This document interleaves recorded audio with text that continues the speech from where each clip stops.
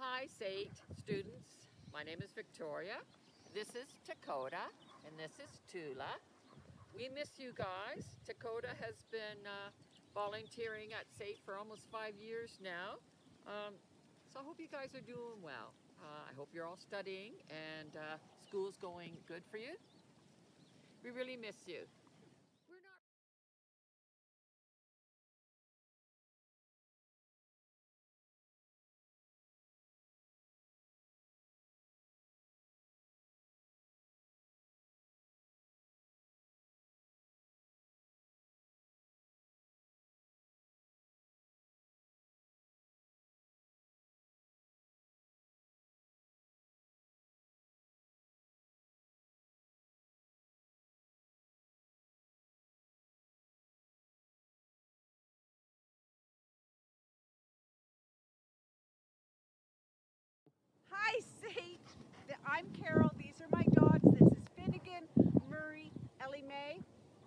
Are just waiting to get back, so be prepared.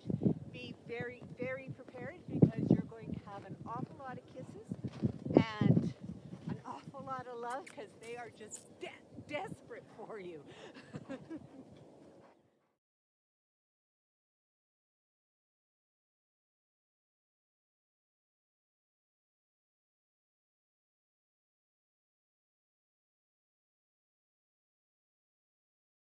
Peter, but more importantly, this is Chelsea.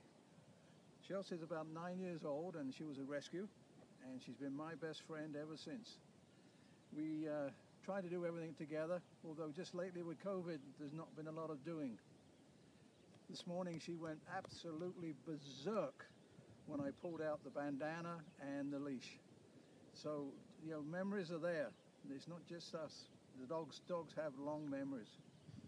Um, I'm happy that we're here as well because um, a little earlier in the this year, uh, she was diagnosed with a cancer, and they took a big uh, chomp out on the side there, but there's lots left, as you can see. And uh, now she's fit and fierce and ready to go.